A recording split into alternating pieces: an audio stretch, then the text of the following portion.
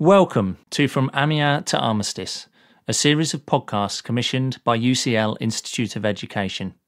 I'm Simon Bendry, Director for the UCL Institute of Education's First World War Centenary Battlefield Tours programme. In August 2018, students from across the United Kingdom joined students from France, the United States, Canada, and Australia on the Western Front to commemorate the Battle of Amiens. This series, recorded largely on location during that battlefield tour, tells the story of the Battle of Amiens in the wider context of the First World War and the road to armistice.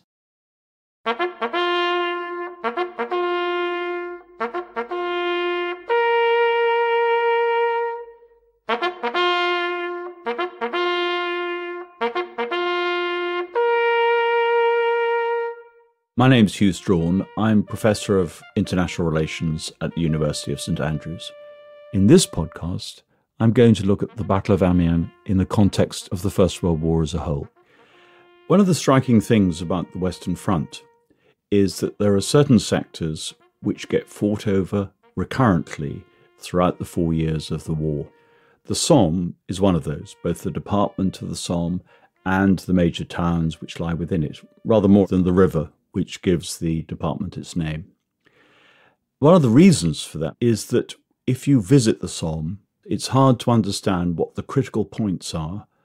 This contrasts with the area around Ypres, which many British visitors will be familiar with, where if you stand to the east of the town and look back to the west, you are very clear as to the importance of the ground and why it was fought over. You're on relatively high ground. You're looking back over the town towards the channel and the channel ports, the principal points of supply for the British Army when it's on the continent of Europe. And as you face east, there is potentially open ground running towards the main German communications back into Germany itself, the lifeblood in many ways for the German armies to the north on the Western Front. The Somme has very few such commanding points in terms of high ground, it does have one significant feature, however, and that is the town of Amiens itself and the railway junction which it possesses. That railway junction acted as the main line between Paris and northern France. So, for the British Army serving on the Western Front, it's the principal junction for its supply in the Somme sector. It's the principal arterial communication between northern France and Belgium, and its loss in the war would have been profoundly significant for the supply of the army.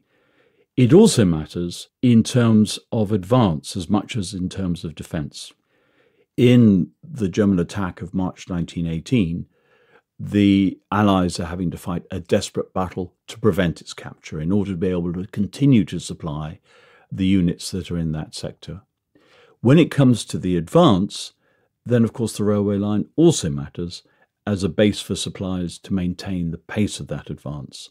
Although, of course, the further east the British and their allies advance, the longer the lines of communication and the greater the difficulty in maintaining that supply line. Indeed, by the end of 1918, that will be a major factor in Douglas Haig's calculations as to whether to accept the terms of the armistice offered by the Germans. The consequence of this rather indeterminate nature of the Somme terrain, no big river lines, no major hills, a lot of dead ground, a lot of ground that is outside direct observation from the point of view, for example, of artillery fire, not, of course, out of direct observation from the air if the weather's good enough. The consequence of that sort of terrain is that it could be won and lost with comparative impunity. The French fight here in 1914 as they're engaged in the so called race to the sea as they move north after defending Paris in the Battle of the Marne at the beginning of September 1914. On the 1st of July 1916, the British and French launch a joint offensive on the Somme, which lasts for five months. Notorious in British military history for its loss of life on the first day, 60,000 casualties nearly, and probably over 420,000 British casualties, maybe rising to 500,000 by the time the battle is closed down in mid November 1916. It's important to remember that the Battle of the Somme in 1916 is not just a British battle. It's a joint offensive. The British attack north of the River Somme, the French attack to the south of the River Somme.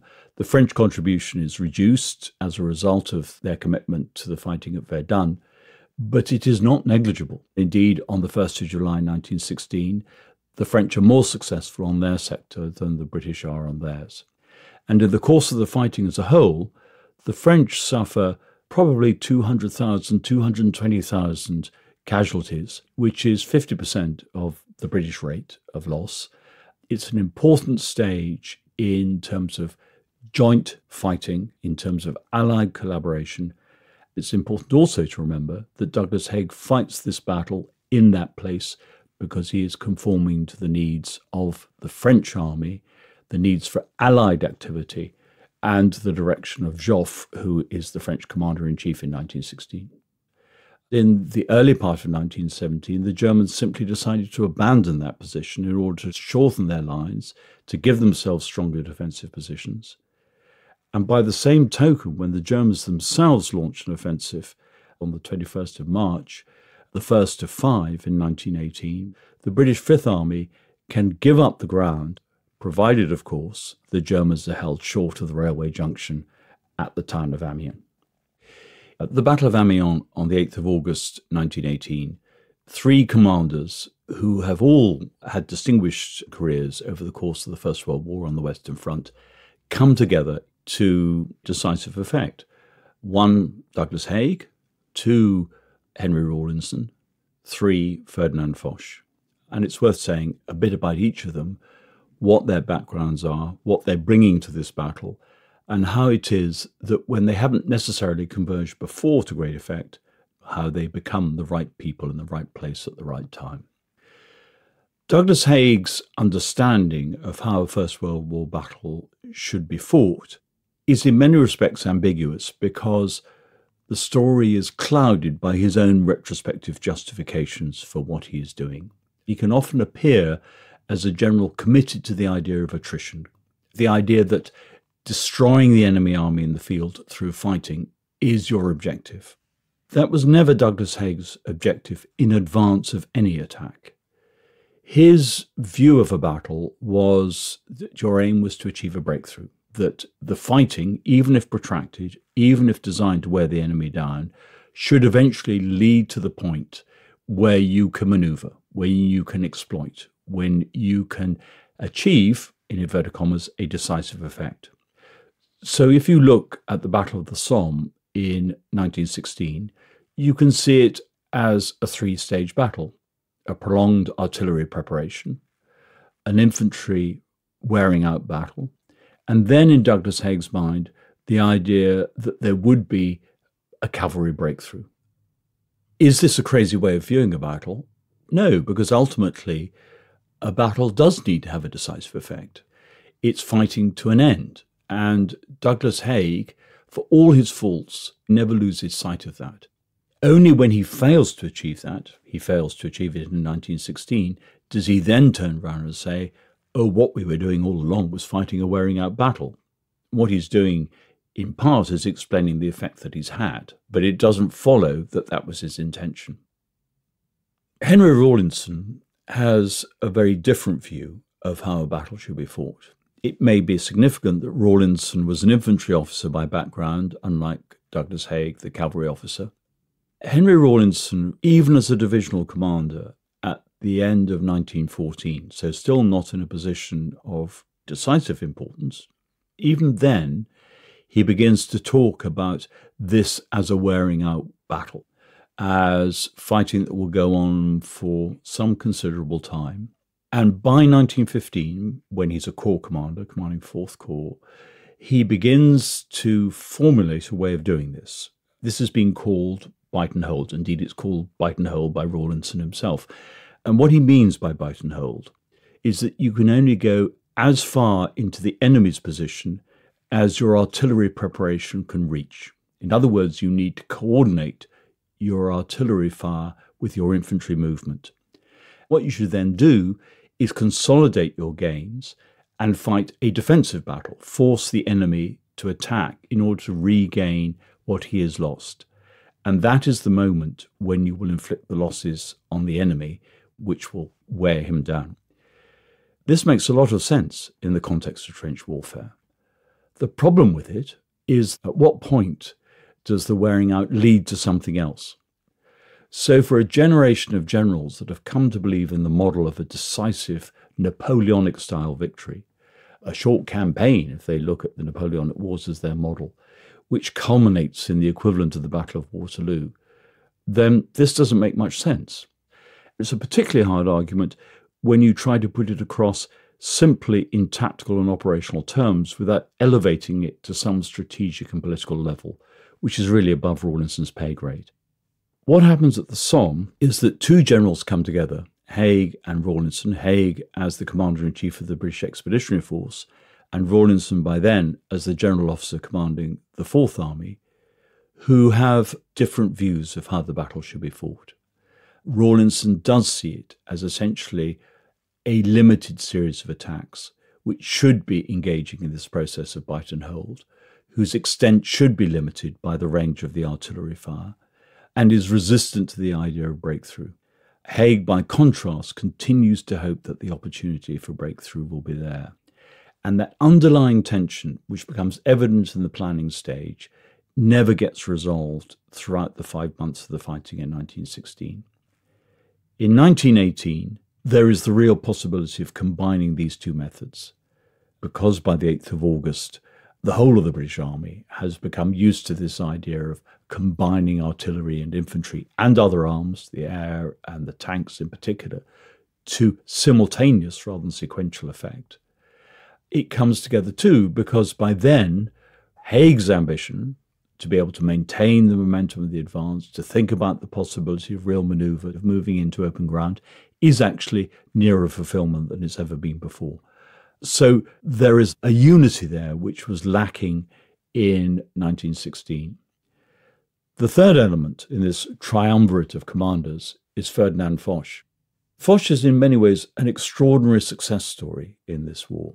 Extraordinary in the first instance because when the First World War broke out in 1914, he was aged 62 and he'd never yet seen combat. He had joined the French army during the Franco Prussian War, but too late to take part in fighting. In 1870, Ferdinand Foch was at Metz at school preparing to take the exams to go to the Ecole Polytechnique. He was planning to be a civil servant, not a soldier. But the consequence of being in Metz was he was immediately swept up in the Franco Prussian War when it broke out that year. Metz became part of Germany after France's defeat in 1871 in that war because Alsace Lorraine was annexed to Germany. This left a deep scar, a scar which in itself did not cause the First World War, some historians in the past have tended to argue that. There's absolutely no evidence that France went to war to regain Alsace Lorraine. But once the war had begun, the recovery of Alsace Lorraine and the need to obliterate the memory of the Franco Prussian War was central, particularly to men of Foch's background and generation. For the next 40 plus years, Foch is a military academic. He studies war, he teaches at the École de Guerre, at the military school. He publishes on the principles of war, but he hasn't commanded in the field until the First World War begins in 1914. Then he's a corps commander. And actually, things go pretty badly, as they do for the whole of the French army in its opening offensives on the 22nd of August 1914. Foch's corps suffers very heavily. By 1916, Foch is commanding the French armies in the northern French sector, and that includes the Somme battlefields. And he, in many ways, has come close to Rawlinson's approach. He talks about a methodical approach to the battle.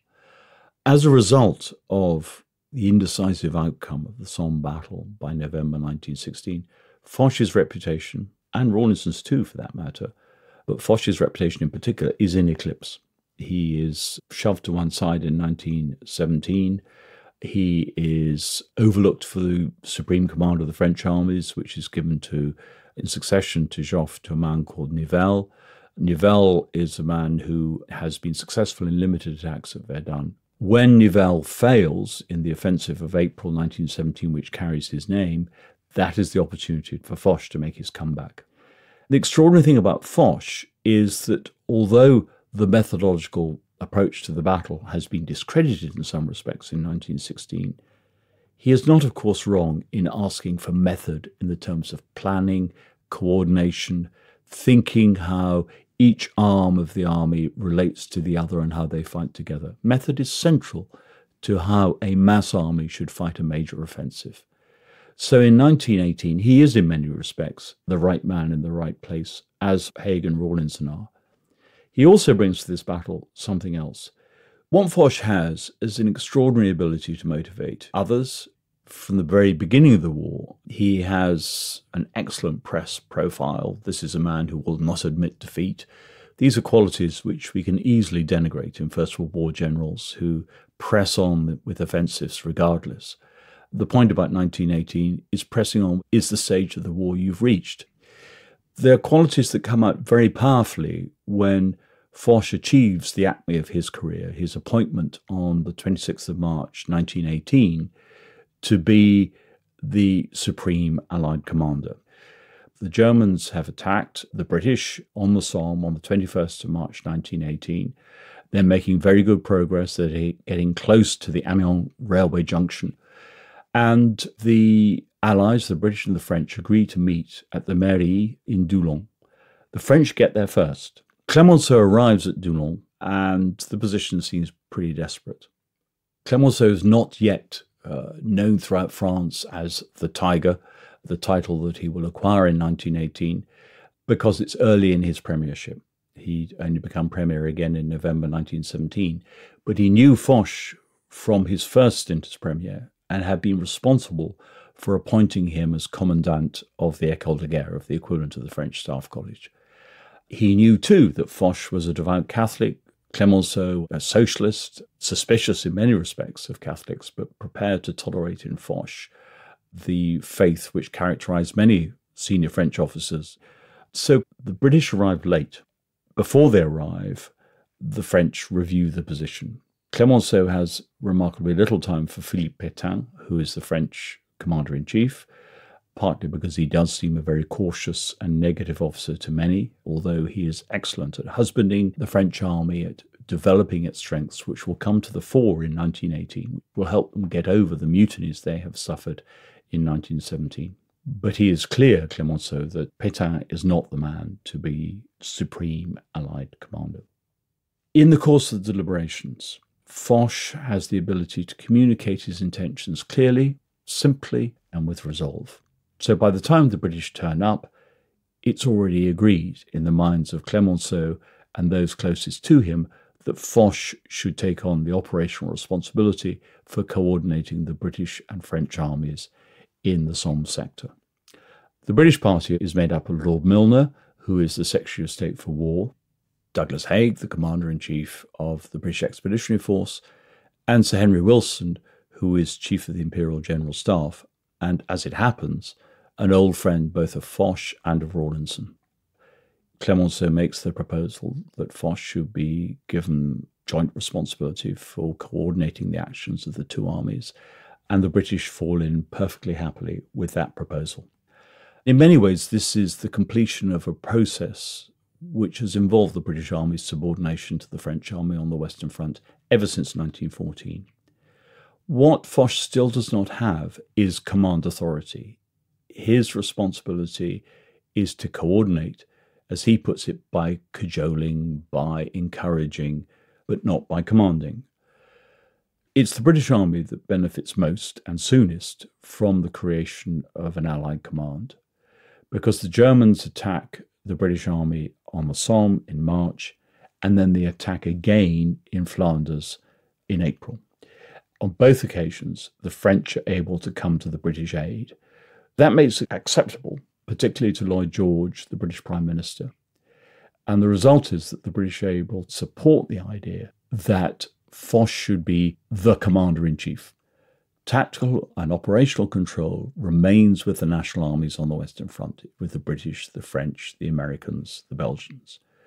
But the coordination at a higher level, strategic command, is vested in Foch.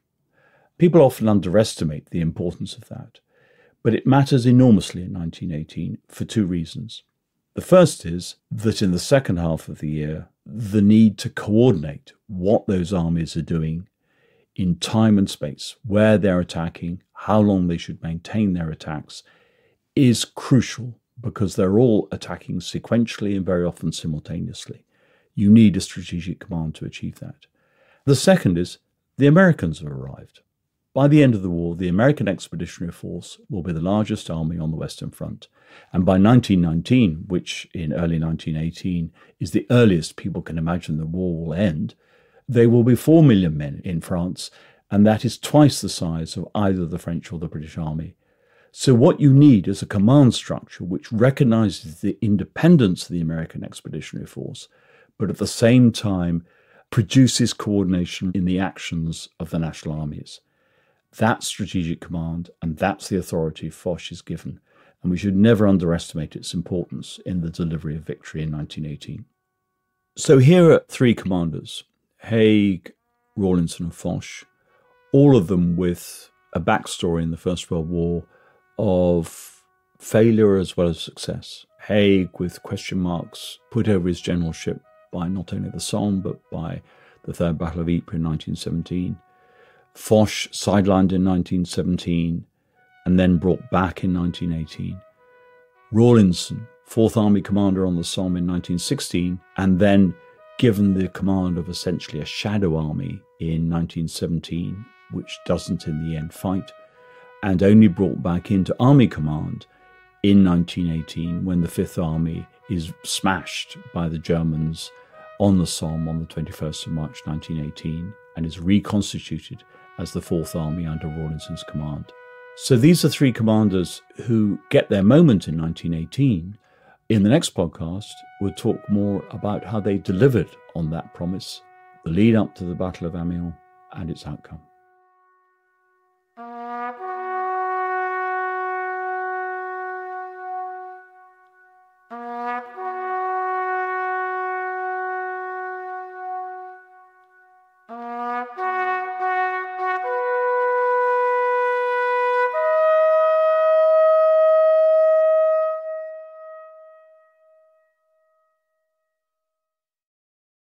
That was Professor Sir Hew Strachan. You have been listening to From Amiens to Armistice, a Chrome Radio production for UCL Institute of Education. The producer was Catriona Oliphant, with sound design by Chris Sharp. In our next podcast, Professor Sir Hew Strachan will be considering the Battle of Amiens and its outcome.